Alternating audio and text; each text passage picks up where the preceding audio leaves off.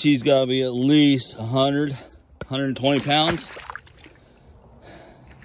Just to give you a